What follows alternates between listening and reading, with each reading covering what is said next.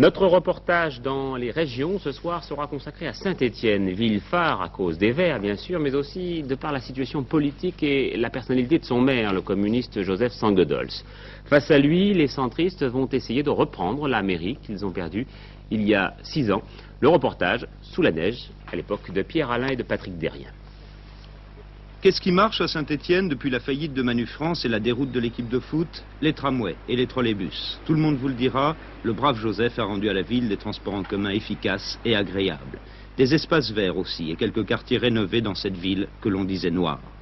Mais pour les adversaires de Joseph Sangdols, là s'arrête le bilan positif de la gestion communiste. Saint-Étienne se meurt, vous dit-on volontiers, exode des habitants, dépôt de bilan par centaines, chômage record pour la région, endettement de la ville, etc.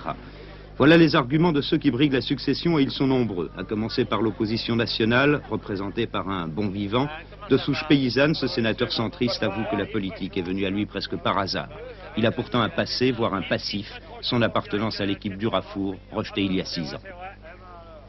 C'est vrai, c'est vrai, c'est vrai, mais enfin on peut aussi dire que les réalisations qui ont été faites euh, sur la ville de Saint-Étienne l'ont été pendant ce règne. Et qu'en fait, euh, notre... Euh, notre successeur aux affaires a, surtout inauguré les opérations, les réalisations qui avaient été faites par ses prédécesseurs. Alors je, m'inscris en faux quand on dit que c'est un retour en arrière. Beaucoup de Stéphanois souhaitent effectivement qu'on en revienne à la prospérité que connaissait la ville à cette époque.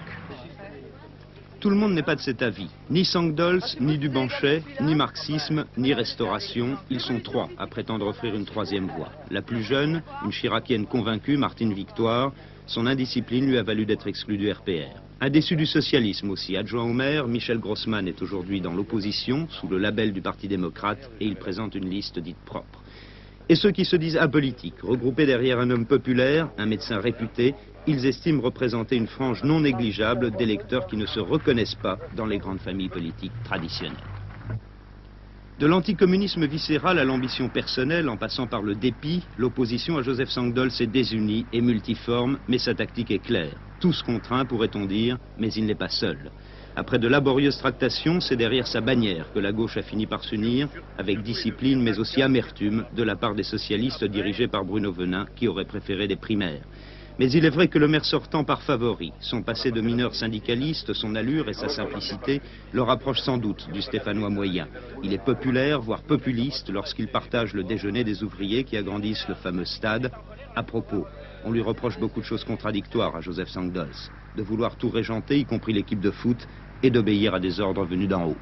Mais il y a des gens qui voudraient que je m'occupe de rien, parce que ça les gêne que le maire de Saint-Etienne ne soit pas député ou sénateur en même temps que maire, qu'il est maire et simplement maire et il s'occupe des affaires de cette ville, et d'autres, la démocratie de gestion les gêne, et, nous continuerons à, gérer les affaires telles que nous l'avons fait. Et quand on dit que ce n'est pas vous, ici à l'Amérique, qui prenez les décisions, mais deux conseillers venus de Paris?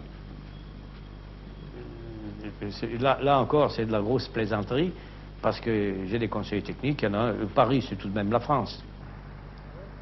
Saint-Étienne aussi, c'est la France, avec toute sa complexité politique, avec ses états de grâce ou ses états d'âme, et dans cette ville coupée en deux courants presque égaux, ce que chaque candidat à la mairie redoute finalement le plus, c'est l'abstention.